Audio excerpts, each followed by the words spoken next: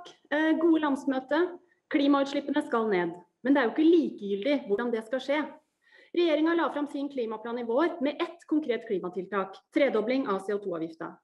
Til tross for at så å si alle sektorer i norsk næringsliv er berørt av dette grepet, dialogen med næringa om hvordan vi skal komme sammen, bruke klimaomstillinga til å bygge landet, er i praksis fraværende. Det er ikke uvesentlig hvilke tiltak man har i tankene for å bevare næringsliv og industri, unngå å flytte utslipp, tap av norske arbeidsplasser, unngå handelslekkasjer, slik det pekes på i forslag 175 fra Akershus. Så hvilke tiltak for reduserte klimautslipp fører økningen av CO2-avgifta til? Regjeringa har ikke svar på spørsmålet, det ligger ikke noen liste over konkrete tiltak til grunn for utregningene, sa Sveinung Rotevatn. Nei, konkrete tiltak kan være vanskelig i praksis.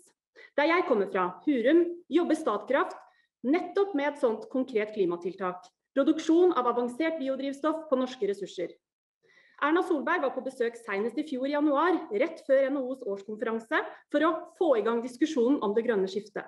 Omtalte produksjonen som et viktig bidrag for å redusere klimautslippene.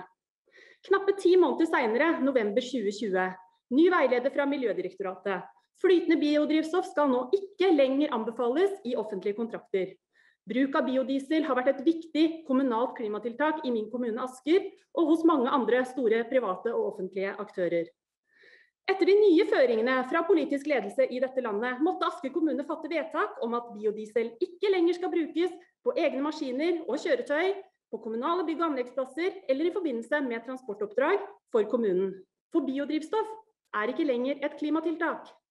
Det mange store aktører nå gjør, er å bytte tilbake til fossilt drivstoff, som jo står igjen som det eneste praktiske alternativet. Det gir jo ikke mening. Hvis noen lurer på hvorfor Senterpartiet trengs i klimapolitikken, så er det fordi vi trenger de praktiske og konkrete løsningene.